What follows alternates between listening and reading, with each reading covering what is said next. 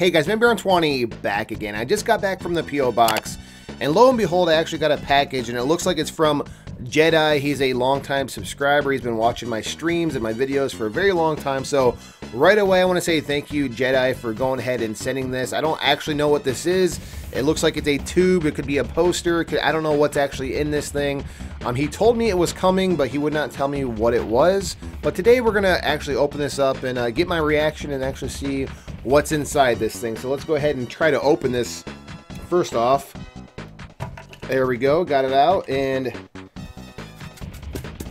Oh, man. Okay. I'm to have to open it from the other side. Wow.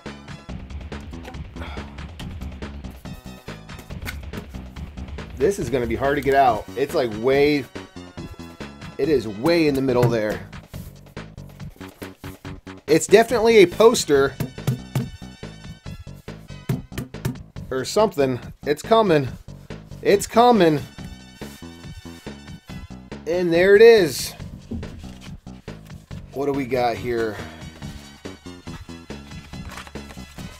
Sonic the Hedgehog.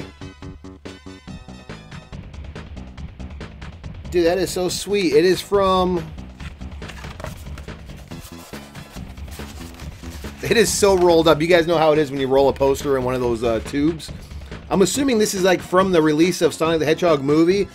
Uh, yep, it's yeah, it's the Regal edition. So I'm assuming this is right from uh, the movie theater. Dude, check it out.